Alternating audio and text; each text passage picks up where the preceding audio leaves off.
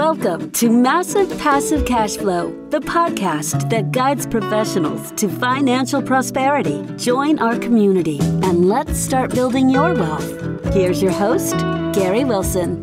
Hello, welcome back to the Massive Passive Cash Flow podcast. I'm Gary Wilson, your host, and I'm glad to have you back on the podcast. If you haven't done so and you wouldn't mind doing so, please go ahead and subscribe to the podcast. It's on 30 different channels, of course, Apple being the biggest one, but you pick the one you like. And while you're out there, please visit globalinvestoragent.com.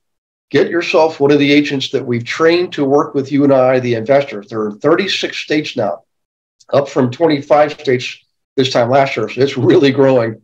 And uh, based on what we're seeing, we should have the entire country and parts of Canada covered. Uh, we're already in Ontario, but we're looking at Quebec and uh, BC. So uh, for coverage there too. So so stay tuned. Pick yourself an agent, and if you are an agent, boy, I got to tell you guys, you'd be crazy if you don't click on the learn more button and, and learn more about this network because the market is changing. And if you don't have a, a, specific program with scripting, methodology, terminology to work with, specifically with investors, you're going to be left behind. Plain and simple. We've seen it before. And don't be caught up in that crowd. Be part of the, the, the successful crowd. Click on learn more and learn how you can uh, help others and help yourself too. So, in any case, uh, without further ado, we got a great guest today. Uh, Clay Ogden. Clay, thank you very much for joining us. You got a very uh, niche oriented and important subject. So I'm really excited to get to this podcast. So thank you for joining us. Absolutely. Thanks for having me. You're very welcome. Hey, if you wouldn't mind, um, uh, a little bit of background, you know, wh- where are you? How did you get there? And really kind of lead up to where you are today with the, with the 831B, which everybody just hold tight. We're going to explain that and uh, to, take, to take notes. This is a take note podcast. so, so uh, Clay, go ahead and get us get us started if you don't mind. You know. Yeah. So uh, I actually graduated from from college and I I started playing professional golf and uh, I met with a lot of different business owners and uh, successful individuals, obviously that I had met through my through my golfing career, and uh, for something that would allow me to work with those successful individuals, business owners, CEOs, CFOs, etc. And I came across the 831B and loved how this program really allows a business owner to take excess revenues, excess cash flows, set them aside to help them manage more of the uninsurable risks that at the end of the day they they're on the hook for anyway. Uh, ironically enough, over the last three three and a half years, a lot of those things have occurred and it's really exposed why these programs exist. So, well, I'll tell you what. Let's let's go ahead and dig into to what what is it? What is a eight three one B, and then um, we can talk about how you know how we apply it, and then even maybe take some examples because we've got a lot of business owners uh, follow the podcast, and uh, I think this is going to help a lot of people. You know. Yeah, absolutely. So the 831B is actually a piece of the tax code. It's been around since 1986. So it's definitely not new. However, it is new to a lot of people. Um, you know, prior to 07, 08, it was about a quarter quarter million to set one of these up and maintain it. Uh, it was just super costly and very, you know, cost inefficient for a business owner, small to mid market business owner, to really look at this as a planning tool. Uh, over the last 10, 15 years, the costs uh, have really come down. There's obviously been abuses like there is in everything. Uh, but we're starting to kind of hone in on what is acceptable and what is not acceptable. And really kind of starting to gear towards helping business owners take those excess revenues, excess profits out of their business, mm-hmm. set those dollars aside for the the supply chain interruptions that we've seen, for the business interruptions that traditional insurance just doesn't cover, uh, maybe political risks, political decisions being made that alter someone's business. I mean, it just because it hasn't happened to you yet doesn't mean that it won't happen. I think 2020 opened a lot of people's eyes to the fact that you know they were deemed non-essential or forced to close their business, uh, and I don't think many business owners, if any, ever dreamed that that was capable or possible of happening. And so, right. business owners take on a lot of risk. They just do. I mean, that's kind of the name of the game, right? Being able to manage more of those risks that their traditional insurance doesn't cover is what the 831B is designed to do. Okay. So right, well, that sounds pretty pretty awesome. I appreciate you bringing up the, the example of the pandemic because you're right. We of all the things. I mean, I'm I've been in business for 37 years now, and of all the things you could ever anticipate, I can promise you, a pandemic was not one of them. you know, I mean, we were for the first time in history, and it's not the first. It's not the first time we've had a pandemic. I mean, obviously, what they refer to as the Spanish flu way back in the, the second decade of the 1900s. Um, pretty dramatic, and I mean, a lot of people on a percentage basis, it was more uh, more costly than this last one that just popped up. But the, the but the point I was trying to make is is um, we took a different strategy this time. Instead of quarantining all those that were at risk, right? We quarantine everybody else, which is, you know, 97, 98% of the people for the sake of the two. I, I'm not disagreeing with, I'm just saying that was what changed. And what it meant was all these businesses were just basically shut down. I mean, I, I mean, it was, it, it, how do you decide between one and the other? I don't know. I wouldn't want to be in that position, but you know, I, I saw family businesses been in, in, business for three or four generations, just gone, just wiped out. You know, and you got at Walmart open up 24 7 selling everything under the sun, but because they sell food and medicine, right? It's it's essential. But next, and they sell candles, by the way, but yet right next door, the candle stop had to shut down. You know, so there was all those inequities going on. But when you're when when times of crisis, you got to fight the battle and you clean up. You do battlefield assessment afterwards and and try to make amends and clean things up.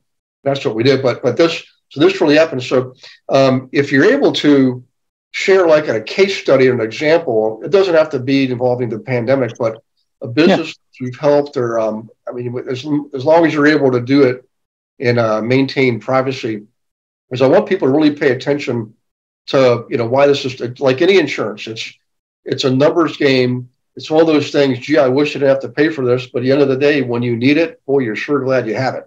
you know, so. But uh, yeah, any any examples, I, I, case studies come to mind? Yeah, I mean, uh, not necessarily. I mean, what we had clients in, involved in the pandemic that had, you know, contractual obligations to, you know, provide product or services by a specific date. Product was either delayed or they didn't ever receive it because the, you know, the the manufacturers and the facilities they were getting the product from had been closed down for two, three, four, six months. And so they were hit with penalties and fees on their contractual obligations because of a you know a third party interruption. Third party interruption is just not covered by traditional insurance because it's outside of the scope of your business. Doesn't matter. I mean, that's something that in, impacted indirectly impacted a lot of business owners. Mm-hmm. Uh, supply chain interruptions, cost of building with contractors has gone went through the roof and has since come down to 2014 levels. Um, we saw a lot of different clients over the last couple of years involved in ice storms down in Dallas. Mm-hmm. That businesses were really restricted for weeks on end because of the issues going on there. You see it when hurricanes take place in South Florida. Uh, mm-hmm. Uh, maybe my business wasn't impacted or devastated or torn apart by the hurricane, but the entire area around me was devastated. And therefore, I'm bound to lose a lot of revenue because of that. Uh, I don't have an insurance claim to file, but I lost a lot of revenue because of an indirect loss. Right. And th- those are things that we see fairly regularly, right? I mean, in today's world with uh, cyber attacks, we're starting to see these things more and more. They're becoming more and more frequent. Uh, starting to see things like, you know, uh, starting to see things with social media that ultimately impact the the way a business runs and someone saying something whether it was legitimate or not or taken out of context they put something on social media or they do something and it gets put on social media people run with it and mm-hmm. someone's brand and reputation is questioned or damaged beyond repair and it's you know sometimes it's legit sometimes it's not but the damage is already there yeah. Uh, I mean, these are these are a lot of examples that we see with clients pretty regularly mm. that don't fall within traditional insurance, but they are left to manage those losses on their own. Right. Yeah. So it was interesting. We were talking before the podcast about the the recent train derailments. I mean, this, this, this is the kind of daytime stamp this podcast, but but yeah. there's been several of them in a short period of time, which is really unusual. And the, the, the one that's getting in the most press is the one in East Palestine, Ohio. And, uh, you know, of course, there's a, you know, train car after train car of, of chemicals, and there's a whole list of them. They, that we you can now are published. You can see what was in there, and the biggest one being the vinyl chloride, of course. But but in any case, when something like that happens, uh, what I guess what I'm getting to is, you know, who, who who's who's covered or who's made whole as a result of 831B, and also who's the candidate, who's a good candidate for that. In other words, would is Norfolk Southern?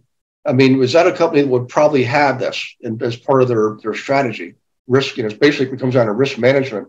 Um, and what you know, what how, the people that live there, um, like you said, a lot of them probably have beauty shops and pets uh, businesses that are uh, unfortunately harmed by this because you know they don't know how to operate. Maybe, but I, I guess what I'm getting yeah. at is is that a, is that an example, maybe a big example of where this could come into play? You know.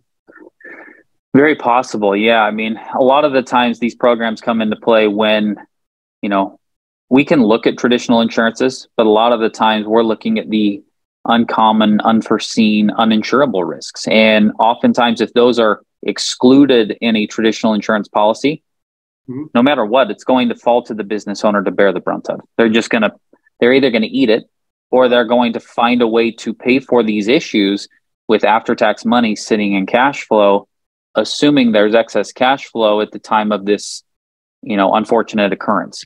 Right. Uh, these programs are really designed to help that business owner in good years take a little bit of the excess revenues and excess profits, park those to the side in an 831B to now have policies to cover those unforeseen events.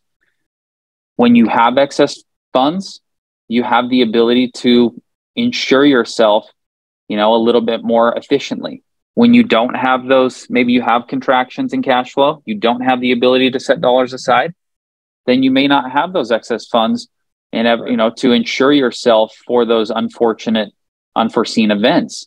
Uh, but yeah, I mean that's a that's a prime example. There may have been you know product that people were anticipating. How long it interrupts that rail mm-hmm. uh, for a period of time is you know to be determined. Uh, I think there's a lot of a lot of issues that will come from this that we may not see for a couple years to come. Yeah, yeah, I know it's it's a that's a that's a toughie. But so so now, as far as the IRS code goes, um, you know, the legislation, regulation, all that. So you've got the so a company can take advantage of the 831B. When they put away some of their excess profits, is that considered an expense? So it's basically there's a tax benefit to putting the money aside at that time. Is that the um, one of the benefits of doing this? It is, yeah. So the 831B allows the business owner to take us and set aside up to here in 2023. The number, the ceiling under the 831B is up to 2.65 million. Uh, we will allow up to a percentage of gross revenues, uh, but no more than 2.65 million per 831B, and that's per the 831B tax code. Yeah. So when you ask, you know, who's a who's a good client, who's a good fit?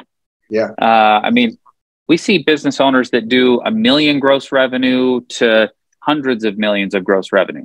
I would say the vast majority of clients that we work with are a million gross to 50, 60 million gross and everywhere in between.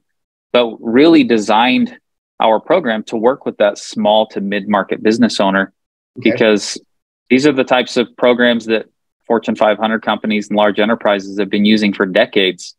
Uh, but it's now obvious that the small to mid market business owner needs these planning tools more than ever uh, because traditional insurance policies continue to add exclusions as right. premiums continue to increase.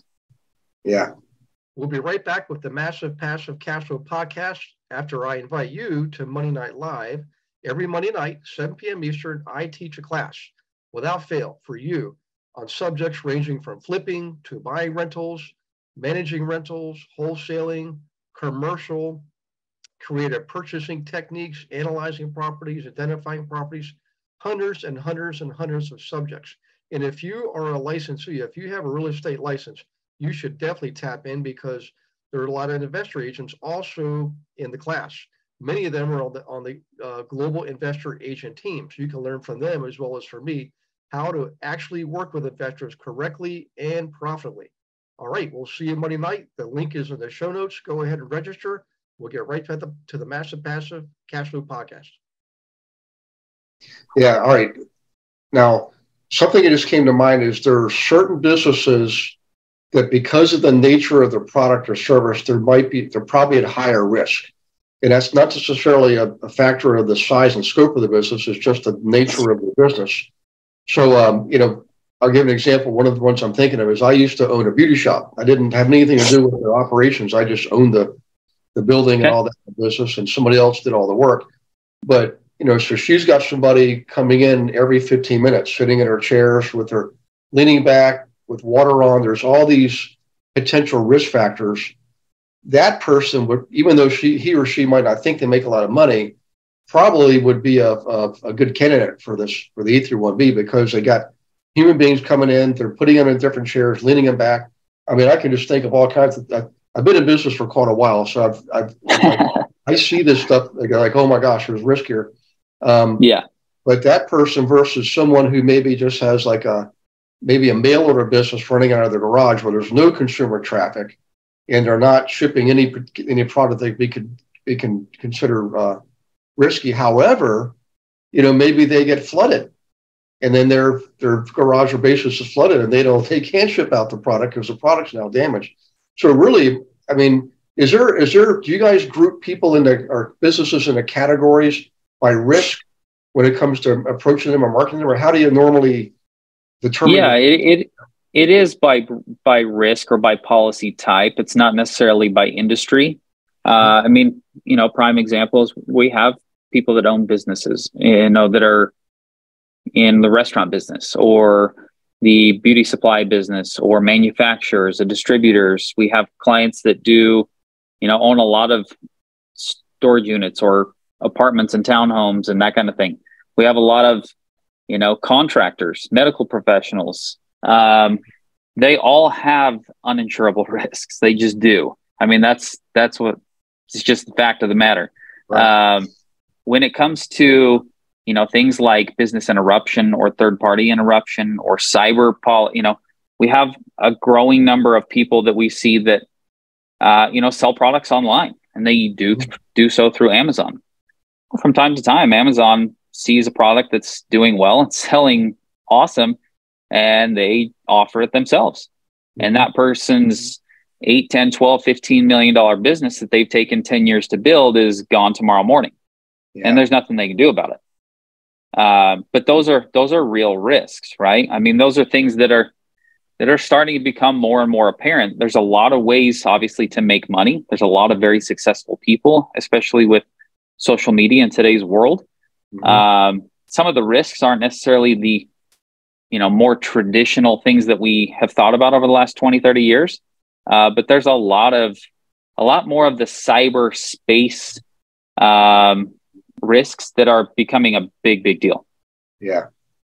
Yeah i agree. And i you know what's interesting is um, there's now a, a new wave of technology. It's now it's it's it's part of everyday conversation, but you know, blockchain processing and Web 3.0, and all, if you think about all the potentialities from that that that new software and new technology, um, there's a lot of ramifications. And I, I don't, mean this is just my opinion, but I'm my opinion is I think this is going to be impacting you know human the human our human race and the way we conduct business and and all that in a way that's probably on the same magnitude as like the industrial age, industrial revolution, or even you know the technology, you know, computers and information age and all that. It's pretty big. I mean, blockchain itself, I, you know, it's gonna the, the pet store owner is gonna be operating off the blockchain. You know, I mean, in real estate, title companies. If you think about a title search, when you're buying a property, they research a chain of title, right? They're basically researching a history of transactions that's precisely what blockchain processing does, you know, but it's so yeah. much easier and faster and it's accurate and it's almost immutable when it comes to security because if you think how it's designed, you know, the security is inherent in the fact that it's decentralized, right? Um, and it involves so many different people and computers. Um, it's just an amazing concept. And, you know, I'm not saying it's perfect.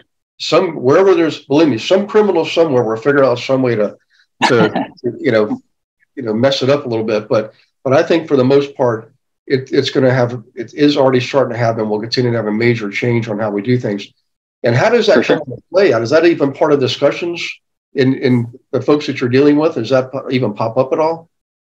Um, I mean, not a ton, only because it's such it's so new, right? It's it's right. very much an unknown at this point. Um, but yeah, I mean, as as we move forward, as things continue to evolve, inevitably policies that cover new types of risk will come out. Um, we're always looking to expand policies and create new types of risk coverages because things are changing. I mean, they just are. There's there's constantly new risks that business owners have that they didn't have 15 years ago or that never were even considered. Um, I mean, a lot of these types of policies and things that are covered within these programs, and it's becoming more and more of an issue in today's world, is mm-hmm. it disputes and lawsuits. I mean, disputes and lawsuits come about in any business and every business, no matter what you do. You know, when that is when that lawsuit or that legal action is brought against you, are you just using after tax money sitting in cash flow, or have you built up a a portion of funds, a, a war chest of funds over here to manage these potential issues if and when they occur? Uh, you know, the industry, I would say the industry that's used these programs the most and done so magnificently efficiently is the auto industry. You know, service contracts, warranties. You look at someone like UPS that offers a shipping protection. You know, mm-hmm. you go mail a package and they sell you. I mean, that's what that's what they're doing here. That's the 831B put into motion in in a perfect way. Um, so that we're just trying to bring that available to various types of risks and different, you know, small to mid market businesses because that's right. that's what this country is running on, and they're taking insane amounts of risk, yeah. but they're not really using the most efficient tools to do so. Yeah, I, I agree. If you think about it, you actually touched on this a moment ago. Um, you know, I guess we call it the, the liability crisis. You know, there's, you know, the, yeah. the sheer volume of litigation that goes on. It's just, I don't even know how, you know, the courts are even keeping, I guess they're not keeping up. They're so far behind, but, but, uh, I mean, that to me is probably one of the most um, glaring examples of why this is so important because it, any day anybody could file a suit against anybody for any reason. It doesn't matter if they're right or wrong that point of filing, but it'll. I, there, there's a term we learned this in business um, called enterprising litigation. where people are literally going to court simply to, to make money. Like it's just there's no real basis for their suit, but they know because it costs so much money for a company to be to go to court with a lawyer and pay for representation that it's often simpler, easier, and faster and cheaper just to work to some kind of settlement. And that's what happens. It ends up costing money. They're just hoping to reduce the cost of that by not having to go to court and fight somebody. You know, I've been I've been personally involved in that with some of my businesses, and at first it was extremely frustrating. I looked at my lawyer. I said, "Wait a second, you're telling me I'm going to have to to pony up? They're going to pass around the hat, or everybody that's involved. I mean, this was a, a real estate transaction. One of my agents got involved in." Her own daughter, by the way, was her own daughter that sued because her mother was the agent. You know, both agents got involved, both brokerages got involved, the title companies, the, the, the municipal inspectors. It was everybody. They they they they attached everybody they could to the suit, and at the end, the, the lawyers were like, "Look, you just everybody's got to pony up." I said, "Wait a minute. This was my own agent, who's the mother of the client that was harmed by this thing, and I got to pay for this? You said, well, either you do, you go to court, it's going to cost you a lot more.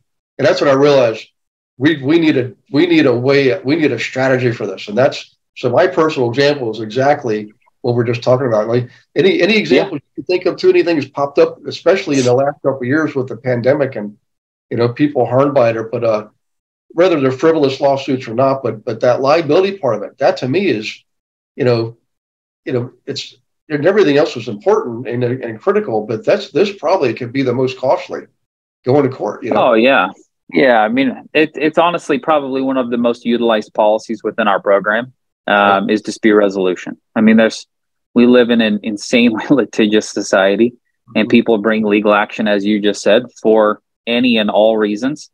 Yeah. Um, sometimes legitimate, sometimes just to tie people up, and it's it's something that happens all the time. Obviously, different states have a much more um, common issue with it. Um, but yeah, I mean, it's, it's it's a growing it's a growing concern. It's a growing issue. It's been there for a long time, but it is becoming more and more of a problem.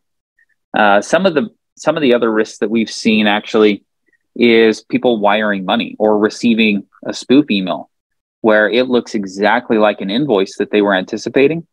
Okay. An employee receives it, they pay it, they uh, send the money, and we've had a couple of cases where it's been, you know, 80 something thousand dollars wired to a black hole and a couple hundred thousand dollars wired to a black hole.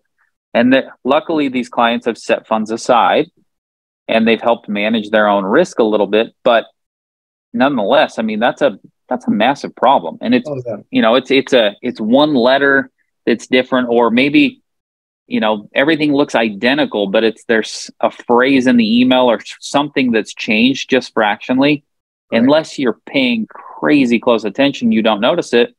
You click the link, you pay it, and it's gone. Yeah, uh, it's it's something we've seen a handful of times, and it's it's it's a it's a heart wrenching one when it happens.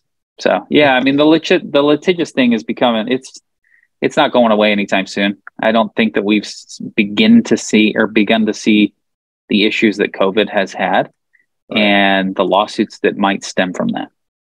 Yeah, yeah, that that's that is pretty scary. I mean, I've, I've, I've I know that that happens too. It hasn't happened to me personally, but I know people personally that that's happened to, and uh, it's as it's as scary and and um, you know, anger inducing is as like identity theft. You know, so yeah, yeah. Amazing. I mean, I, I have actually I've worked with a lot of advisors, CPAs, tax advisors, you know, P&C agents, anyone who works with business owners is really who we work with, mm-hmm. um, as well as the end using business owner. And a lot of a lot of comments have been made over the last couple of years that kind of the cybersecurity dispute, you know, uh, data breach type stuff is mm-hmm. becoming more of that personal identity theft. Yeah. Yeah. Wow. Yep. So now, is there anybody um, do you think it's uh, would not be a candidate. I mean, in terms of business owners, it seems to me like the, that last one, the liability risk. I don't care what business you're in, what product or service you have, the the the because litigation can pop up anywhere, anytime. You have to have a defensive plan. You got to play. It's you know we're most entrepreneurs are focusing on offense, especially in the beginning years. They're not thinking defense. That doesn't come about till maybe something happens to them. to give them a wake up call. Actually, let's talk about that. Yeah. Um, um, what you know, you know how it is starting a business. It's hard. I mean, you're trying to like just get some cash flow coming in the beginning. But when should somebody really consider this? You know? Um, I mean, really, any business owner that has, I would say, seventy-five to hundred thousand dollars in excess cash flow and more to set aside is really someone that should be looking at this, right? If the if until you can meet those kind of basic parameters, I would say it's probably something that absolutely every business owner should look at. But in order for it to pencil and make sense, that's kind of where that line in the sand would be. Yeah. Uh, and you know, typically these programs are very cost prohibitive for that small to mid market business owner. Mm-hmm. Uh, we've done a lot of different stuff as far as cost structure goes to bring it down to that small to mid market business owner. Um, but still, you know, there's there's a cost to doing business, and I would say that probably that seventy-five to one hundred thousand dollars a year mark is where I would say is kind of the the net positive for a business owner. Yeah. Okay. Yeah. Well, how, so, how can people learn more about this? I mean, I, I, uh, any way we can get a hold of you, you know, website, email, special report, uh, anything you can provide, that would be yeah. awesome, you know? Yeah, absolutely. So our website is SRA 31B or, our, I guess our website is www.831b.com. Uh, people can always reach me at clay at 831b.com. Uh, and then happy to provide a cell phone number if people want to just call or text uh, as well. I mean, that's it's shocking to me how many people prefer to just call and text. Uh, I mean, I work that way, but a lot of a lot of business owners prefer that. So, yep. So it's Clay C L A Y at 831b.com. Yes. Email. Okay. That's yep. usually the most common. But if you want to, if you want to rattle off your phone number, sure you want to do that. I mean, I, we we've done, I do that too, by the way. You know. Yeah. So, I mean, my my my number is 801 589 20. What was the last four digits? 4420. Okay. All right. Yeah. And 881 is a, the area code? 801. 801. I'm sorry. Thanks. Yeah. Okay. All right. 589 4420. Okay. Yeah. So, everybody listening, uh, if you've got a business, at least have the conversation. Um, I'm telling you from personal experience, I've been down that road before thinking everything's fine. And um, some weird, quirky thing pops up. And like in my case, it was the, the daughter of one of my agents. And, you know, the daughter bought what she thought was a, a triplex and he had it inspected, everything from the city, municipality, all everything was done. And then three months later, she goes to do some remodeling. The inspector comes back out and says, gee, this actually is only zoned for a duplex you can't even have this third unit. You gotta you gotta take out the kitchen and blah blah blah. And we were incredulous. So wait a second, you inspected it, you passed it as a three unit, but it didn't matter. The code was the code, and the city inspector was pretty much um, um, protected, I guess, from his employment. And and it involved other the both brokerages, the title company. Um, you'd be amazed how many people got dragged into the thing. And you know, the, for me to have to to give money to my agent's daughter, and I know my agent agent was probably not giving money to her daughter. I'm sure her daughter said, "That's okay, mom. You don't I don't need your money," but the rest of us had to pay. You know, and I didn't. Nothing covered it. That came right out of pocket. and it came right wow. off, off the top. So, so keep that in mind, guys. I don't. I don't. Doesn't matter how big or small your business is. If you got, like Clay suggested, maybe 75k in excess, um, you may want to seriously consider this because the way the world works is the more you have, the more a target you become. And you got to protect yourself. And this is one surefire way to do it. So, any, any final uh, words of wisdom you want to share with anybody before we take off here? You know, I, I, I definitely see this more and more um, in a lot of the business owners we work with in all sizes. It, it is becoming more and more frequent. It is becoming definitely something more and more people are becoming familiar with. Again, whether it's a fit for your business right now or ever, it's absolutely something that should be looked at because simply from a risk management tool and a efficiency tax efficiency tool, uh, it brings a lot to the table. Uh, is it a fit for everybody? Absolutely not.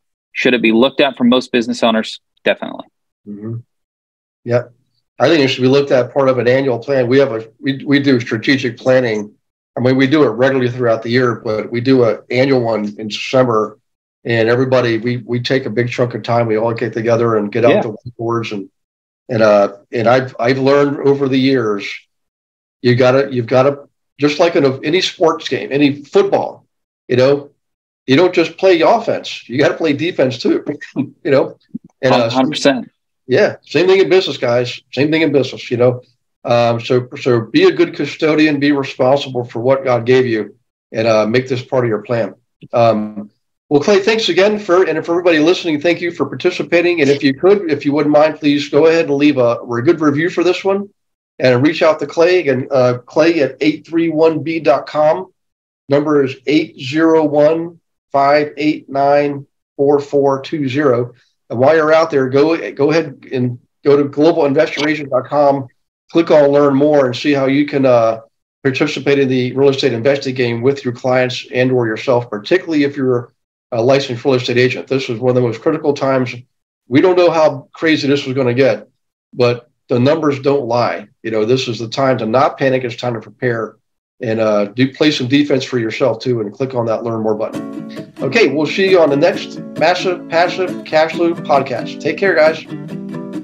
Thanks sir. Thanks for listening to this episode of massive passive cash flow. Be sure to go to realestatewithgarywilson.com to join our community and start building wealth today.